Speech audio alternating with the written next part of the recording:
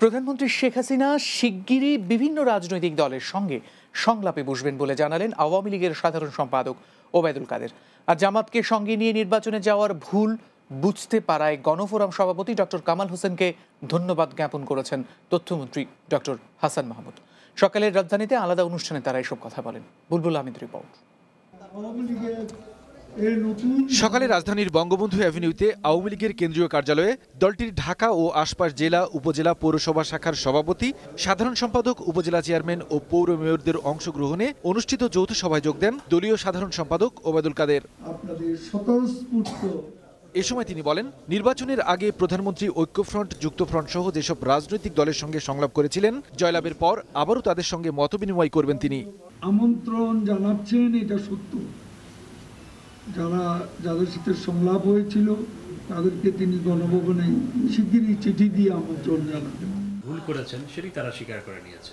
এদিকে সকালে সচিবালয়ে তথ্য মন্ত্রণালয়ের অধীনস্থ সংস্থার প্রধানদের সঙ্গে মতবিনিময় শেষে মন্ত্রী ডক্টর হাসান মাহমুদ সাংবাদিকদের বলেন জামাতের সঙ্গে ঐক্য করা নিয়ে দেরিতে হলেও ডক্টর কামাল তাদের রাজনৈতিক ভুল বুঝতে পেরেছে যা ইতিবাচক। আমি ডক্টর কামাল হোসেন সাহেবকে ধন্যবাদ জানাই যে তিনি তার ভুলটি স্বীকার করেছেন জামাতকে সাথে নিয়ে নির্বাচন করাটা ভুল ছিল। তিনি সেই ভুল উপলব্ধি করতে পেরেছেন।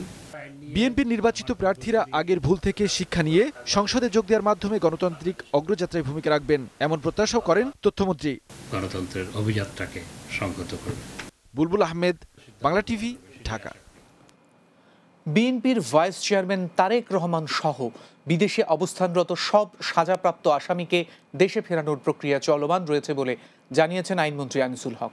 অন্যদিকে রাজধানী উন্নয়ন কর্তৃপক্ষকে দুর্নীতি ও হয়রানি মুক্ত করে জনবান্ধব প্রতিষ্ঠান হিসেবে গড়ে তোলার ঘোষণা দিলেন গৃহায়ন ও গণপূর্তমন্ত্রী সম রেজাউল করিম।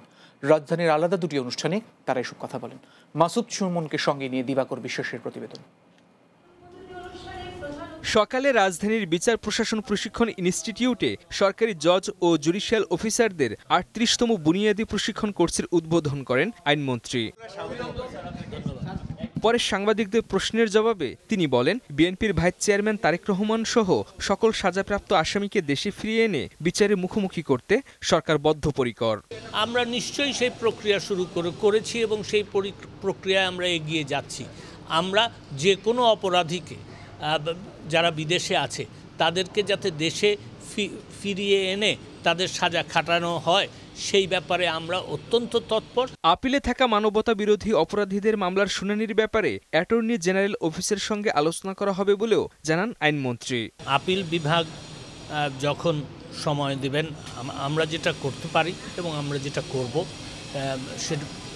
সেটা আমরা একটা সিদ্ধান্ত নিয়েছি। সেটা হচ্ছে যে আমরা through the attorney general's office এইটা যেন তাড়াতাড়ি এই মামলাগুলি কার্যতালিকায় আসে সেই একটা উদ্যোগ আমরা গ্রহণ করব অন্যদিকে সকালে রাজধানীতে রাজুকের সভাকক্ষে এক অনুষ্ঠানে যোগ দেন গৃহায়ন ও গণপূর্ত মন্ত্রী সমরেজাউল করিম। এ সময় তিনি রাজধানী উন্নয়ন কর্তৃপক্ষকে দুর্নীতি ও হয়রানি মুক্ত করার ঘোষণা দেন। আমি চাইব আপনারা সকলে আন্তরিকতার সঙ্গে কাজ করেন। আমিও আপনাদের পরিবারের সদস্য হিসাবে আপনাদেরকে সকল প্রকার সহযোগিতা করতে চাই।